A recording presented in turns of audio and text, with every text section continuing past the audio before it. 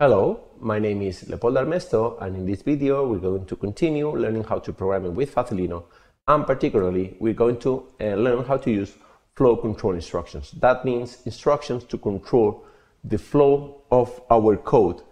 That means branching, like if-else uh, instructions, that also loops uh, and, uh, and some delays as well. So uh, this presentation is based on three exercises. The first one is a hysteresis control, which is a classic example of a temperature control. I will explain later. Also, we will have an exercise that the idea is to wait until something happens, and also if something happens during some kind of continuous execution of, of our code, then we can want to we want to exit uh, from this loop and break it. And also, we're going to implement also an alarm effect with the buzzer. So in hysteresis control, the idea is that uh, there's a signal that uh, takes a value between two, let's say, thresholds. One of them, if the signal uh, is higher than a given threshold, then we set on, uh, uh, let's say in this case, some kind of actuator. In this case, it's an LED, but it could be like in a temperature, if, if the temperature is higher than something, then we can switch on our fan. And if the temperature is below something, then we want to switch it off. But there's a value in between these two thresholds in which we don't want to change our previous controls, so we avoid switching continuously between one single threshold, which would be the case with a normal if condition. So in this case, what we do is we use the if else condition here or if condition else if condition and then we check that if the measurement of the analog signal is higher than in this case 500 and we have a variable we have defined a variable which is a, state that controls the state of our controller or that, that sets the state of our controller. Then if the state is, is it's false then we will set the LED to high and then set the state as true. So then we don't enter here even when the when the value of the signal is still uh, lower than 500. We don't enter here anymore until we go below to the number, in this case 200. In this case, if the signal goes below this value, then and the state is true, then the LED will be low and then the uh, state will be set to off. Okay, it's a state machine uh, that we have implemented somehow here. So let me uh, run the example so you will see how it works.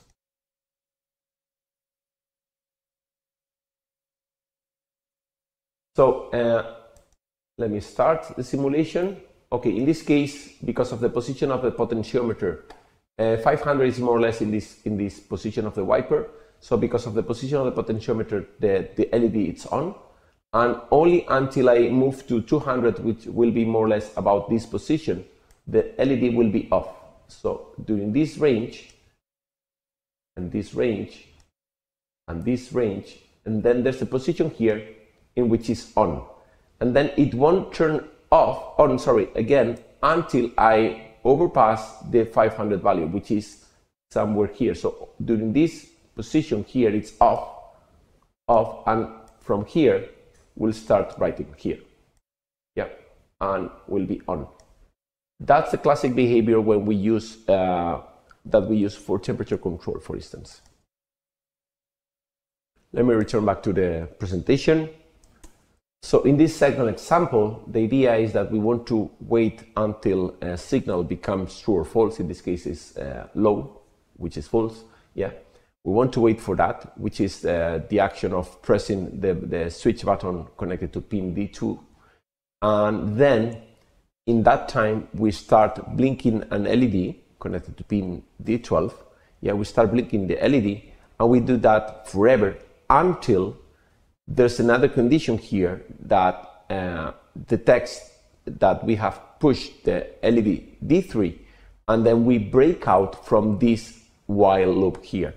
Otherwise, it will be blinking the LED uh, forever. So let me show how it works.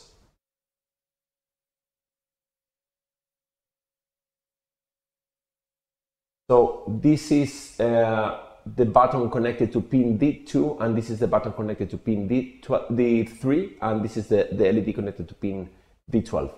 So if I press this button, right now it's waiting, we press this button, so if I press this button, the LED starts blinking, and it will be in this state forever because of the while loop.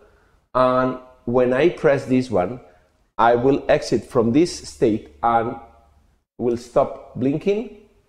Sorry, press stop blinking. And then I need to press again to this button. So if I want to repeat again the same operation. And if I press here, I stop blinking. And the third example, it's an alarm effect that will generate, uh, in this case, a varying frequency using a buzzer. Okay, and in this case, what we want to do is we uh, want to start with, or we want to do some kind of uh, for loop, or in this case, it's a while loop, but it's a, an equivalent that we want to increase uh, every time we repeat something in, within this loop. We want to increase uh, the frequency of the buzzer uh, until we reach um, a given amount of frequency, and then we want to do the uh, the opposite, let's say, um, frequency. So we slow down. We uh, we uh, sorry. We start with a with a different uh, frequency or with the same frequency, and we finish with a different frequency, but the increment is different.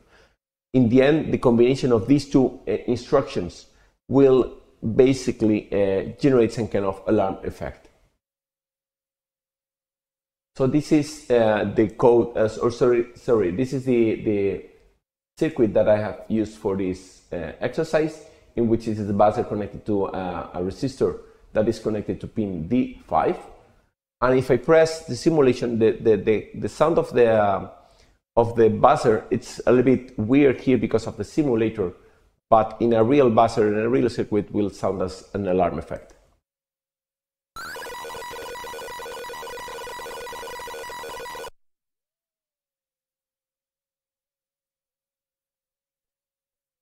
Okay, so uh, in this presentation I have introduced how to use flow control instructions. Thank you very much.